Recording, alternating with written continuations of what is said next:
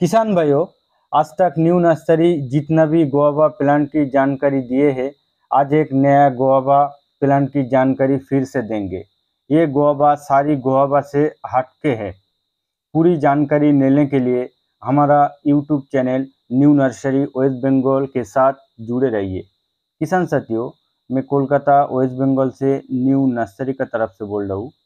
ये जो वैरायटी आप देख रही है, इसका नाम है जापानीज रेड डायमंड गोवा ये रेड डायमंड गोवा दो चीज़ के लिए मशहूर है। पहले इसमें नाके बराबर सीड होती है। दूसरा बात है, इसकी कलर रेड कलर की होती है। और स्वाद की बात करें तो लाजवाब है। बच्चे से बूढ़े तक जिस तरह की अमरूद खाने खाने का मांग करता है, ये फल उसी टाइप का है। इसके साथ इसमें एक खूबसूरत सुगंध मिलता है।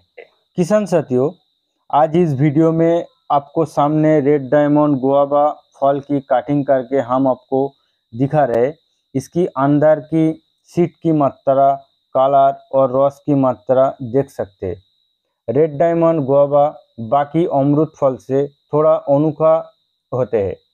इसके साथ साथ गाछ और पत्ता भी अलग होती है। रेड डायमंड गोवा की फल पूरा राउंड शेप में होती है।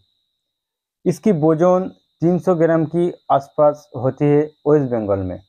किसान साथियों, हवा, पानी, मिट्टी और जायगा की हिसाब से बदल भी सकते हैं।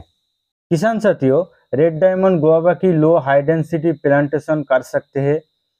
किसान, आप न्यू नर्सरी का तरीका से प्लांटेशन करेंगे तो आप आठ फीट बाय आठ फीट लगा सकते हैं।